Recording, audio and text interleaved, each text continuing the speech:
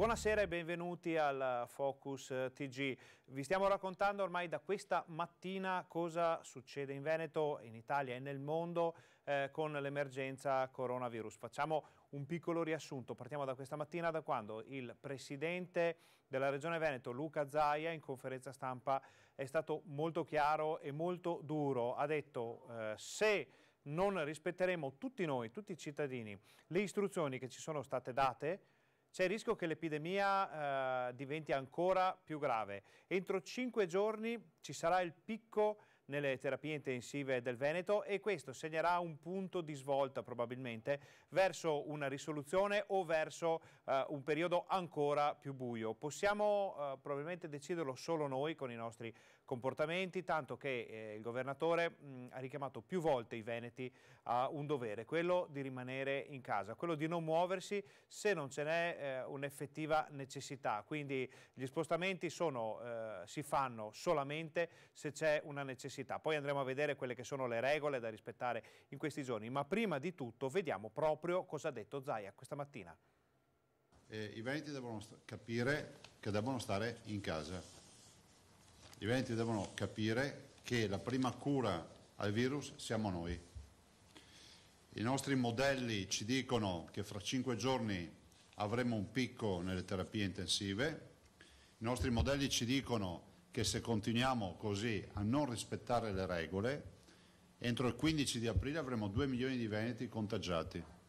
Divieti, restrizioni, appelli accorati, niente sembra bastare per chiarire ai cittadini che possono uscire di casa solo se strettamente necessario. E allora il presidente del Veneto Zai arriva in conferenza stampa con un cipiglio completamente diverso. È informale anche nell'abbigliamento, niente cravatta e soprattutto è determinato a farsi capire una volta per tutte. Allora, il vero tema è che dobbiamo richiamare tutti alla responsabilità.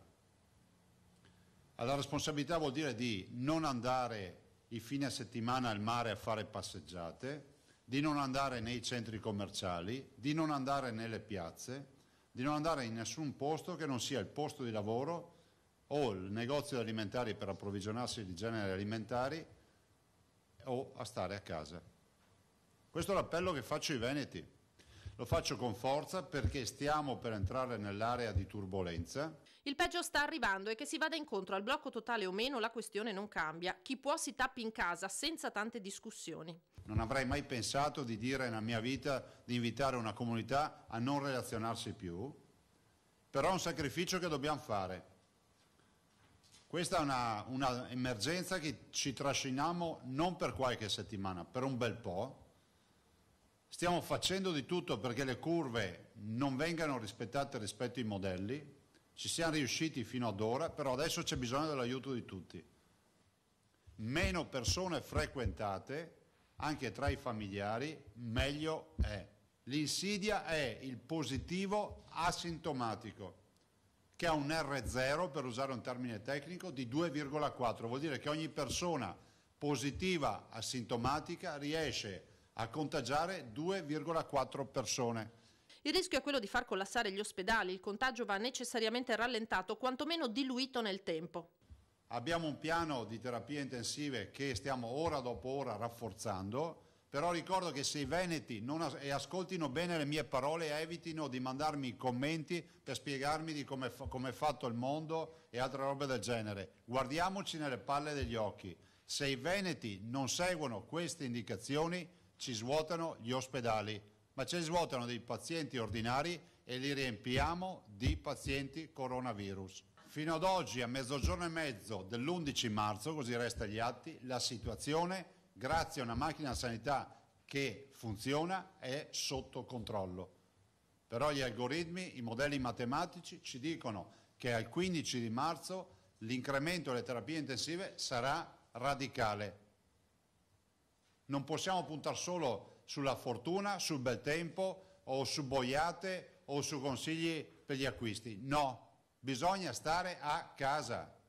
Impossibile fare il tampone a tutti i veneti, solo il rigore e l'autodisciplina di ciascuno può dare un risultato per contrastare un'emergenza che durerà, dice Zaia, ancora per diverso tempo.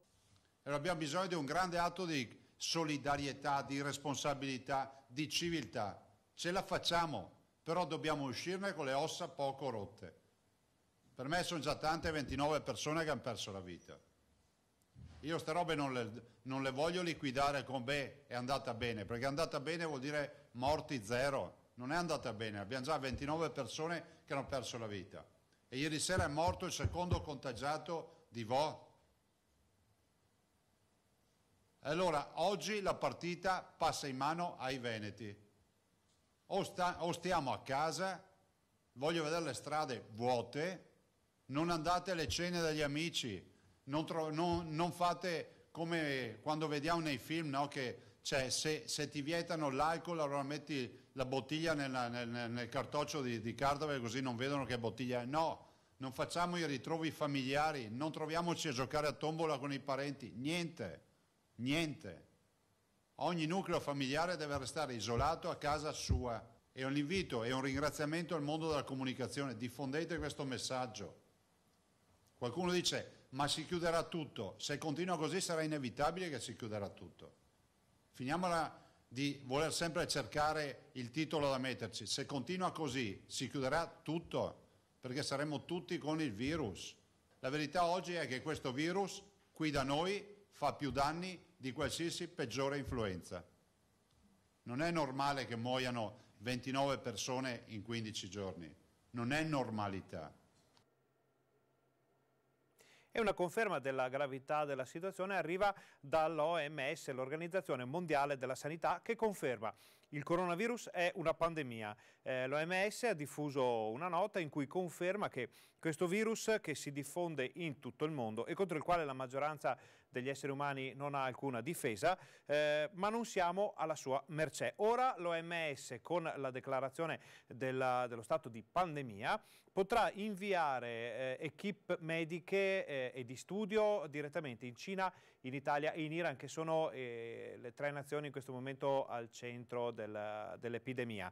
Quindi eh, la, la, una conferma, finalmente lo si aspettava da giorni, questo, questo mh, passo, questo cambio di passo da parte dell'OMS. Noi eh, passiamo invece dall'OMS alle nostre aziende sanitarie. Sentiamo il punto con eh, il direttore generale dell'UIS Trevigiana, Francesco Benazzi tutte le altre patologie minori e tutte le visite programmate eccetera, sì, chiediamo ovviamente all'utenza di avere un po' di pazienza e casomai se non c'è l'urgenza vera di dilazionarli passato il periodo del 3 di, di aprile. Pazientare e se possibile rinviare le visite non urgenti in attesa che il picco passi e la macchina sanitaria ritorni alla normalità. Questo è un invito non tanto tra le righe del direttore generale Benazzi. Sono tanti cittadini ma anche sanitari a chiedersi se non sia il caso di sospendere o comunque rallentare le attività ordinarie dell'ULS 2, interventi programmati ambulatoriali, fatte salve ovviamente le urgenze dalla cardiologia alla cura dei tumori. Sul fronte dell'attività ordinaria è la stessa ULS 2 Marca Trevigiana ad attendere indicazioni generali da parte della Regione sulle linee da adottare a stretto giro di posta. Noi siamo parte di un holding regionale, quindi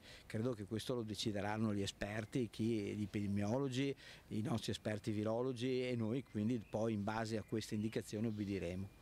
Che siano giorni, ore concitate, nessuno lo nega. Lo stesso Benazzi è stato in visita alle tende allestite al Cafoncello dove si effettua il pre-triage. Nei giorni del picco l'attenzione massima soprattutto verso i focolai presenti nella marca. In principio era quello della geriatria, spento ma ancora attenzionato. Adesso a preoccupare è quello nella zona di Conegliano. Lo stesso vale per poi il, diciamo, i casi che si sono creati a Conegliano legati a quel benedetto triangolo che è quello della di Orsago, Sanfiore e Caneva dove andavano a giocare a carte ed erano interessati più anziani, per cui anche qua eh, l'indagine epidemiologica deve essere fatta e quindi spesso e volentieri vengono isolate delle persone proprio per prudenza e quindi sono tutti casi in più che si aggiungono.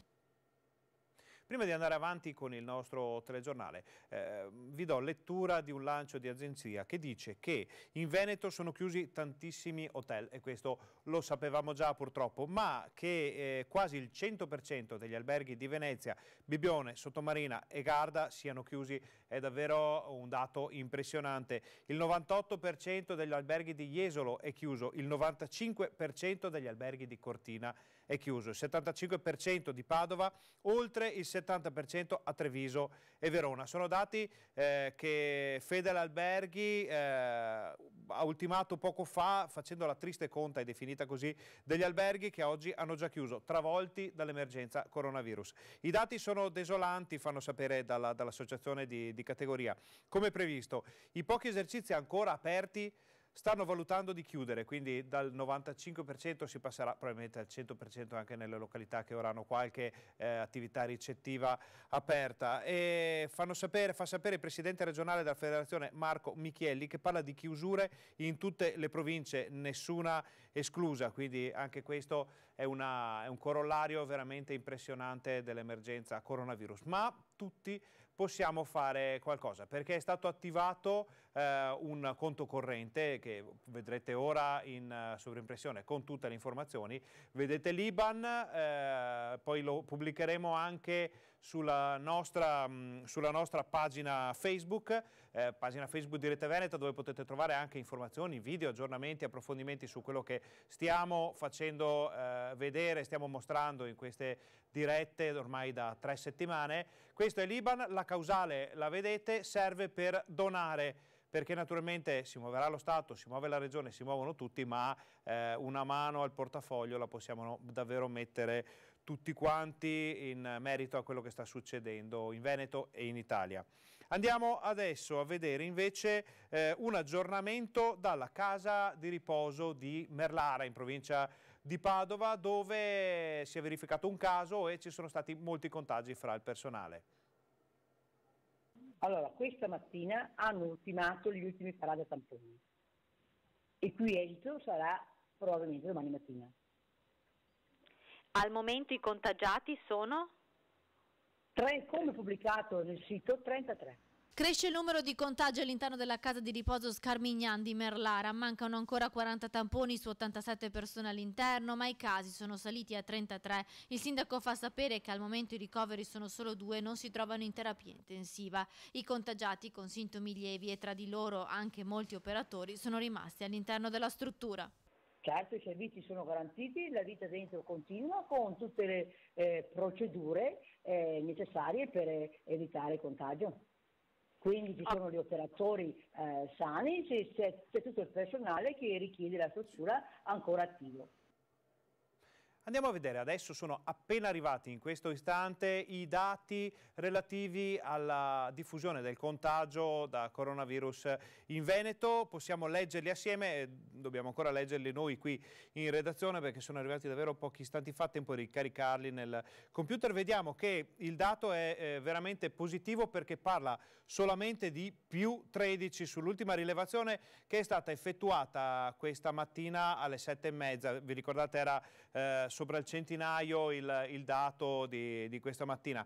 Eh, ci sono solo più tre sull'azienda eh, ospedaliera di Padova, più tre persone contagiate a Borgo Trento a Verona, cresce l'ospedale di Mestre con più tre, l'ospedale di Schiavonia altrettanto, mm, c'è una persona ricoverata all'ospedale di, di, Bassano e una in più a quello di, di Vicenza e in generale il totale... Eh, Uh, questa infatti vi chiediamo scusa, questa è una parte, non eh, solo la parte dei ricoverati, quindi la parte con i dati in più arriverà, eh, arriverà fra poco e ve la mostreremo quando, quando, arriverà. Questi sono i ricoverati che sono solo più 13, non ci risulta eh, gravissima la situazione della terapia intensiva. Poi vediamo insieme quella con i dati ufficiali. Adesso andiamo in pubblicità, ci vediamo fra pochi istanti.